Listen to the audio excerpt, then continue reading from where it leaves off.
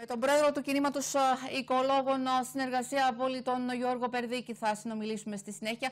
Καλό σας μεσημέρι, κύριε Περδίκη. Καλό μεσημέρι, Χριστιανέστη. Αληθώς ο κύριος. Ε, κύριε Περδίκη, είστε αισιόδοξος ε, εσείς ότι αυτή η πρωτοφανής υγειονομική κρίση θα έχει ημερομηνία λήξης; Υπάρχει φως στο τούνελ; Μα νομίζω ότι πήγαμε την πορεία για την ε, ε, επανάκαμψη για να επανέλθουμε στην καθημερινότητα. Άρα είμαι αισιόδοξο ότι ναι, προχωρούμε προς την θετική κατεύθυνση. Ε, τι λένε οι οικολόγοι στην Κύπρο και την ε, Ευρώπη; Ο, ο ιός αυτός, ο νέος κορονοϊός έπληξε και το περιβάλλον. Ή, ή θα έλεγε κανείς ότι ο αυστηρός περιορισμός συνέβαλε συγκυριακά να, να καθαρίσει το περιβάλλον; Είναι αναμφίβολο και έχει αποδειχθεί με πολλά μοντέλα ότι ο περιορισμός των μετακινήσεων και των δραστηριοτήτων, των βιομηχανικών δραστηριοτήτων έχει βελτιώσει αφάνταστα την ποιότητα του ατμοσφαιρικού αέρα και έχει μειώσει σε μεγάλο βαθμό τη ρήπανση.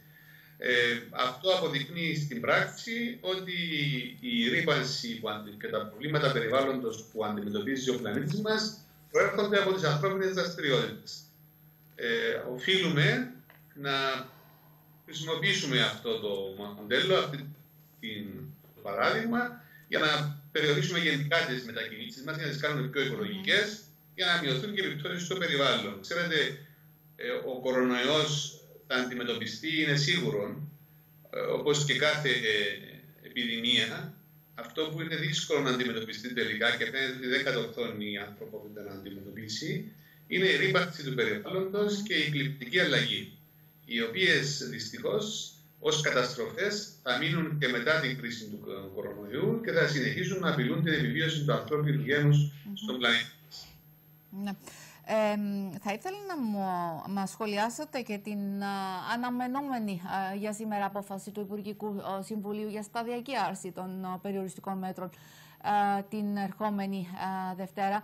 Θεωρείτε ότι θα έπρεπε να αναμέναμε μέχρι να έχουμε μηδενικά κρούσματα ή έχουμε ήδη ε, καθυστερήσει ε, να ζεστάνουμε τις μηχανές της οικονομίας; Κοιτάξτε, το, για μας το βασικό κριτήριο για χάρη και της οικονομίας είναι η προστασία της δημόσιας υγείας. Τα δύο θέματα συνδέονται και αν δεν πετύχουμε πράγματι τα μηδενικά κρούσματα και να υπάρξει ένα πλαίσιο ασφάλειας, ιδιαίτερα σε ό,τι αφορά σε μια σημαντικό τομέα της οικονομίας μας που είναι ο τουρισμός, δεν πρόκειται να πάρει μπροστά. Δηλαδή είναι πολύ σημαντικό να πετύχουμε τα μηδενικά κρούσματα για το καλό της ίδιας της οικονομίας. Έτσι, ίσως να είναι πιο σοφό σε αυτή τη φάση που βρισκόμαστε να είναι τα βήματα σταθερά και συγκροτημένα, να είναι αυστηρά, αν θέλετε, προκειμένου να πετύχουμε πολύ σύντομα τα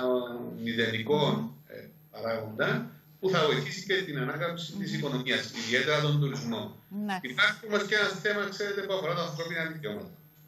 Ε, Εμείς από την αρχή ήμασταν πάρα πολύ διστακτικοί σε αυτήν την.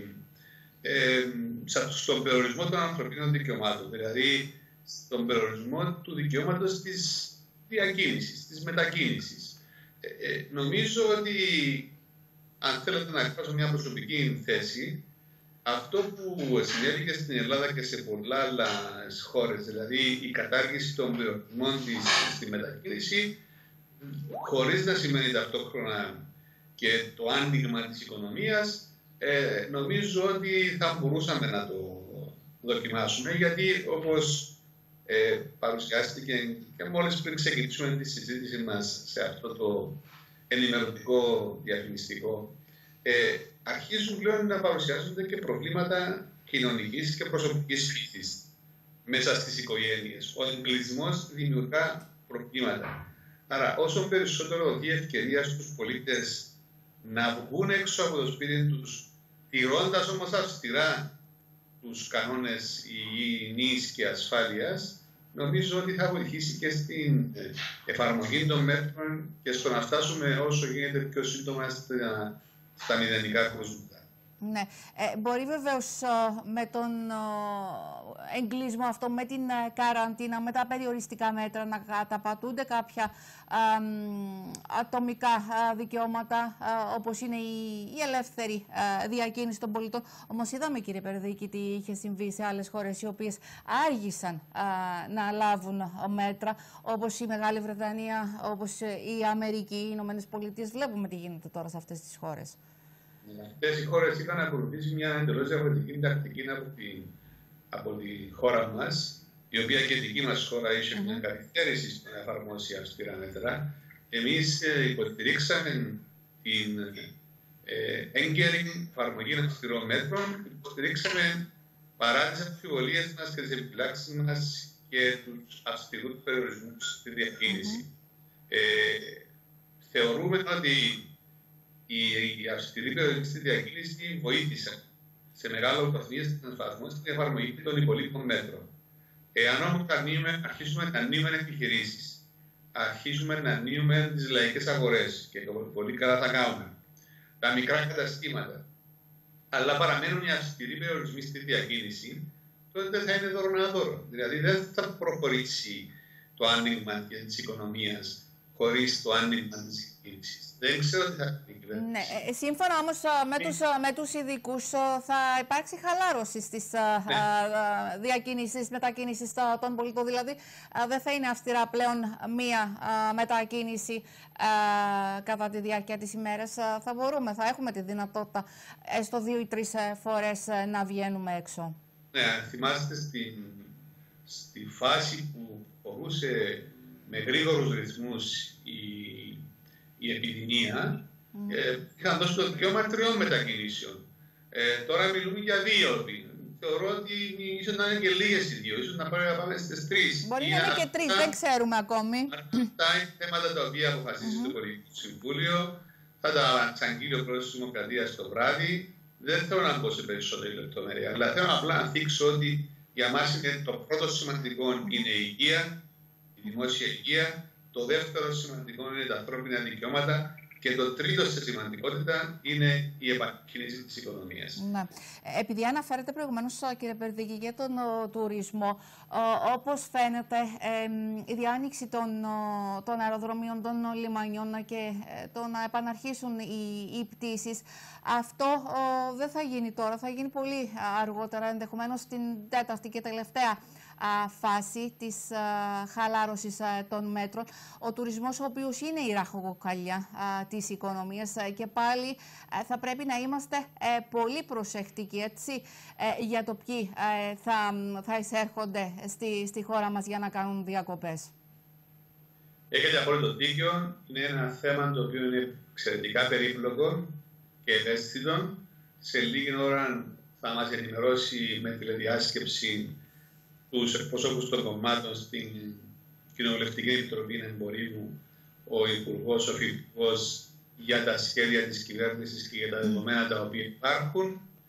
Είναι ένα θέμα το οποίο μας προβληματίζει και το κίνημα νοικολόγων πάρα πολύ, διότι όπως είπα και πριν, είναι πολύ ευαίσθητο θέμα. Έχει να κάνει και με το ποιοι έρχονται, mm-hmm. πού θα φιλοξενηθούν, έχει να κάνει και με την ασφάλεια των φιλοξενουμένων, του προσωπικού που θα τους φιλοξενήσει, και με το γεγονός ότι ε, είναι ο βασικός αιμοδότη της κυπριακής οικονομίας ο τουρισμός. Υπάρχουν χιλιάδες άνθρωποι οι οποίοι εργάζονται στο τουριστικό τομέα. Είναι ένα περίπλοκο και πολύ λεπτό θέμα το οποίο θα πρέπει να μας προβληματίσει πάρα πολύ πότε και πώς ξαναξεκινά η, η τουριστική βιομηχανία, η λεγόμενη βιομηχανία. Ε, θεωρώ ότι είναι εκ των ουκάνικ να αναφέρω ότι σε ό,τι αφορά τον εσωτερικό τουρισμό πρέπει να δοθούν κίνητρα και ευκαιρίε, ώστε οι πολίτες να έχουν την ευκαιρία να πάνε διακοπέ στην Κύπρο φέτος. Ε, αυτό θα καλύψει σε έναν βαθμό τις ανάγκες της λειτουργίας κάποιων ξενοδοχείων και θα δώσει και την ευκαιρία στους Κύπριου όντως να έχουν διακοπές που πιθανόν να στερεθούν τις διακοπές τους στο εξωτερικό φέτο.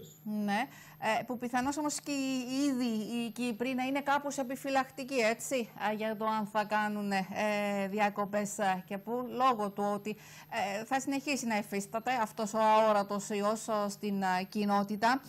Ε, και ο Πάσιξ χθες, μιλώντας με τον κύριο Ιωαννίδη, μας είπε ότι ε, ο εχώριος τουρισμός δεν θα καλύψει, ε, σε πολύ μικρό βαθμό θα καλύψει τη, τη ζημιά που έχει υποστεί η ξενοδοχειακή βιομηχανία.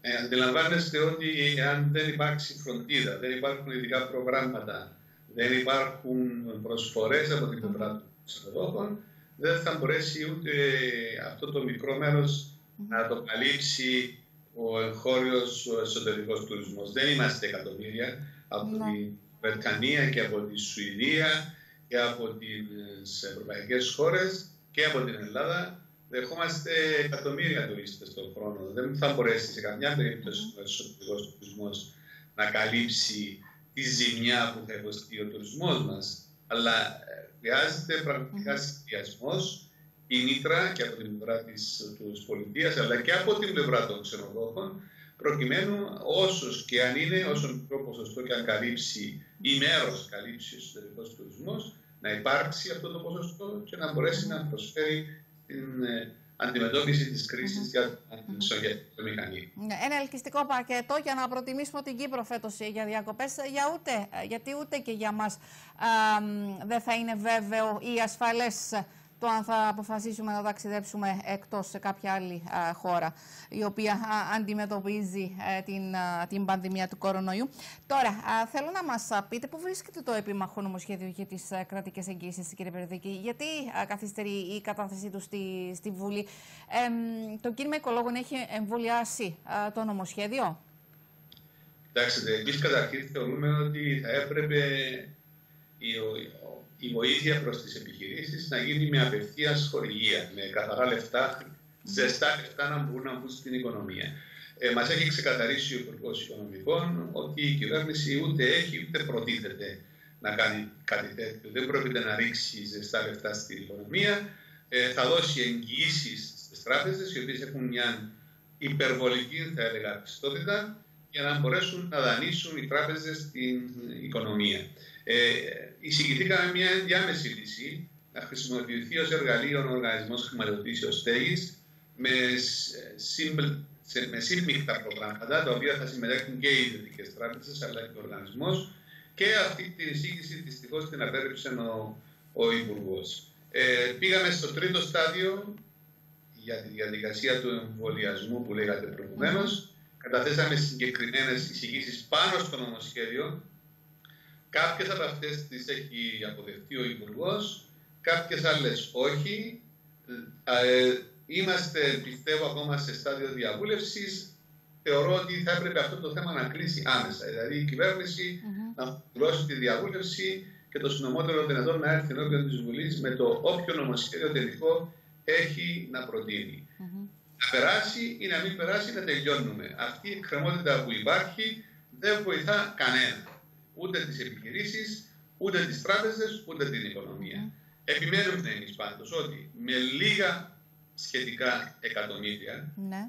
μπορούσε να λειτουργήσει και μια κατανομή των πόρων, δηλαδή από φορολογίες που ήδη υπάρχουν και ήδη εισραίουν στα ταμεία του κράτους, θα μπορούσαν αυτές τα ποσά να μετακινηθούν σε ένα ταμείο ε, πράσινης ανασυγκρότησης και επανεκκίνησης. Ένα θέμα για το οποίο γίνεται μεγάλη συζήτηση στην Ευρωπαϊκή Ένωση, γιατί εκεί υπήρξαν φωνές, ιδιαίτερα από την Πολωνία και από την Τσεχία, να ανασταλεί η πράσινη ατζέντα, η εφαρμογή της πράσινης ατζέντας, δηλαδή της μετατροπής της οικονομίας της ε, Ευρώπης σε μιας οικονομίας που θα είναι ε, ελεύθερη από τρύπανση ε, κυκλικής οικονομίας, μιας περιβαλλοντικής οικονομίας με ορίζοντα το 2030, ε, πρέπει να σας πω ότι σε επίπεδο αρχηγών κρατών απορρίφθηκαν αυτή η σύγκριση της Πρόνοιας και της Τσεχίας και επιβεβαιώθηκε στο πίτσο επίπεδο της Ευρωπαϊκής Ένωσης ότι συνεχίζουμε την εφαρμογή της πράσινης ατζέντας. Και υπάρχει κατεύθυνση από την Ευρωπαϊκή Ένωση η χρηματοδότηση και η στήριξη των επιχειρήσεων να παίρνουν υπόψη δύο βασικά κριτήρια την τεχνολογική αναβάθμιση των επιχειρήσεων και τη μετατροπή τους σε οικολογικές επιχειρήσεις, σε πράσινες επιχειρήσεις. Αυτό το στοιχείο απουσιάζει εντελώς από τον προβληματισμό και των σκεπτικών της κυβέρνησης. Και πρέπει να πω ότι αποσιάζει και από τις προτάσεις όλων των πολιτικών κομμάτων. Εμείς θεωρούμε ότι πρέπει επιτέλους να επιταχύνουμε τους ρυθμούς μας και ένα εργαλείο είναι το πράσινο ταμείο ανασυγκρότησης, όπου με ίδιους πόρου που υπάρχουν, με χορηγίες, με μετακίνηση και ποσών από το πρόγραμμα πολιτογραφήσεων, να στηριχθεί η πράσινη ανάπτυξη, η οικολογική μεταμόρφωση της οικονομίας μας και η τεχνολογική αναβάθμιση της οικονομίας μας. Γιατί είναι το αύριο. Ε, εάν κάνουμε μια επανεκκίνηση της οικονομίας για να ξεκινήσουμε και να πάμε πάλι εκεί που ήμασταν και πριν την κρίση, νομίζω ότι δεν θα καταφέρουμε και πολλά πράγματα. Ναι. Εμείς ε, προτείνουμε να κάνουμε αυτό το βήμα μπροστά. Ναι, Όπως... Το ταμείο αυτό όμως, κύριε Περδίκη, θα, βοηθήσει, θα ενισχύσει τις μικρόμεσε επιχειρήσεις. Έτσι, ε, για, για, να, για να το καταλάβουμε. Το πιο εύκολο πράγμα, το πιο εύκολο, αυτοί που χρειάζονται τη, τη στήριξη είναι οι μικρές επιχειρήσεις. Mm. Μια μεγάλη επιχείρηση δεν έχει καμία δυσκολία και το βλέπουμε ότι έχει συμβεί είτε να μετατραπεί σε green office, είτε να μετατραπεί σε να πάρει τα άισοτα περιβαλλοντικά, δηλαδή να κάνουν, να το πω έτσι απλά το καταλάβουν οι τηλεθεατές τηλεθεατρίες μας. Ε, να κάνουμε την ανακύκλωση, να κάνουμε τη μείωση του χαρτιού, mm-hmm. να μετατρέψουν την επιχείρηση σε ε, paper free, δηλαδή να μην χρησιμοποιούν καθόλου χαρτί. Όλα αυτά μια μεγάλη επιχείρηση μπορεί να το κάνει σχετικά εύκολα και ήδη το έχουν κάνει πάρα πολλές από αυτέ. Το χρησιμοποιούν και σαν διαφημιστικό πλεονέκτημα ότι έχουν μετατραπεί σε πράσινες επιχειρήσεις. Οι επιχειρήσεις που δυσκολεύονται να το κάνουν είναι οι μικρές επιχειρήσεις των τριών, τεσσάρων, δέκα ατόμων. Αυτές χρειάζονται οικονομική στήριξη. Και αυτή την οικονομική στήριξη μπορεί να τη δώσει το πράσινο ταμείο ανασυγκρότησης και αυτής της οικονομίας. Όπου ήδη πληρώνουμε περιβαλλοντικούς φόρους. Ένα μεγάλο μέρος των φόρων που πληρώνουμε στα καύσιμα, για παράδειγμα, είναι για περιβαλλοντικούς λόγους. Αλλά αντί να πάει για περιβαλλοντικούς λόγους αυτό το κονδύλι, πάει στο Γενικό Ταμείο. Ένα άλλο κομμάτι είναι αυτό που πληρώνουμε. Ένα άλλο παράδειγμα θέλω να δώσω που είναι πολύ εύκολο να το καταλάβουν οι πολίτες. Τα σεντ, τα 5 σεντ που πληρώνουμε για την πλαστική σακούλα. Δεν πηγαίνουν για περιβαλλοντικούς λόγους, πηγαίνουν στο Ταμείο των Υπεραγορών. Όλα αυτά τα λεφτά πρέπει να μαζευτούν, να μπουν σε ένα πράσινο ταμείο ανασυγκρότησης και ανάπτυξη, όπως συμβαίνει και σε άλλες ευρωπαϊκές χώρες και όπως η ίδια η Ευρωπαϊκή Ένωση συνιστά, mm. για να μπορέσουν να χρηματοδοτηθούν οι μικρές επιχειρήσεις οι μικρές και πολύ μικρές επιχειρήσεις για να προχωρήσουν στην περιβαλλοντική και τεχνολογική αναβάθμιση. Και αυτά τα δύο πρέπει να σας πω πάνε μαζί. Η τεχνολογική και η περιβαλλοντική αναβάθμιση είναι ταυτόσιμες και παραπατούν χέρι-χέρι. Είναι αυτό που προβάλλει έντονα η Ευρωπαϊκή Ένωση, ακόμα και η, η πρόεδρος της Ευρωπαϊκής Ένωσης, η κυρία Φόντερ Λάντερ, έχει και δηλώσει πρόσφατα ότι επιβάλλεται να, η η ανασυγκρότηση και η επανεκκίνηση της οικονομία μετά την κρίση του κορονοϊού να έχει πολύ έντονο το στοιχείο και το χρόνο της πράσινης ανασυγκρότησης και της τεχνολογικής ανασυγκρότησης. Αν θέλουμε να πάμε μπροστά, αν θέλουμε να πάμε πίσω, νομίζω ότι δεν θα βοηθήσουμε ούτε την πατρίδα μας ούτε τον λαό μας. Μάλιστα. και κλείνοντας έτσι, θα ήθελα να σας ρωτήσω, ε, πότε βλέπετε εσείς ε, ε, να έχουμε ανάκαμψη της, ε, της οικονομίας και να επανερχόμαστε στους, στα επίπεδα που γνωρίζαμε προ-πανδημίας, κύριε Περδίκη; Κοιτάξτε, εμείς θεωρούμε ότι ο στόχος μας δεν είναι αυτός. Εμείς, όπως είπα και πριν και εξήγησα, είναι ότι η ανάκαμψη της οικονομίας να συνοδεύεται με ένα βήμα μπροστά. Ε, με, να, να έχουμε μια οικονομία που να είναι πιο βιώσιμη, πιο δίκαιη, και πιο περιβαλλοντική ε, και πιο σύγχρονη. Ε, δίνονται οι ευκαιρίες. Πράγματι, η κρίση είναι και μια ευκαιρία για λύσεις. Ε, ελπίζω να το πετύχουμε. Τώρα, αν ο στόχος μας πραγματικά είναι να καλύψουμε τις ζημιές στα οικονομικά, δηλαδή στα κέρδη και στις ζημιές των επιχειρήσεων, αν όλα πάνε καλά, φαίνεται ότι ακόμα και το 2021 θα πρέπει να θεωρείται σαν ένας χρόνος κρίσης. Θα έχουμε προβλήματα οικονομικά. Αν πάμε με το χειρότερο σενάριο, φαίνεται ότι θα πάρει δύο με τρία χρόνια να επανέλθει η κατάσταση στην, ε, στο επίπεδο των οικονομικών δικτών που είχαμε ε, προηγουμένως πριν από την κρίση του κορονοϊού. Και αυτό είναι παγκόσμιο, δεν αφορά μόνο την Κύπρο. Έτσι, ναι. Μάλιστα. Λοιπόν, να σας ευχαριστήσω πάρα πολύ. Ε, καλό απόγευμα να έχετε, ε, κύριε Περδίκη. Γεια, γεια σας. Να είστε καλά.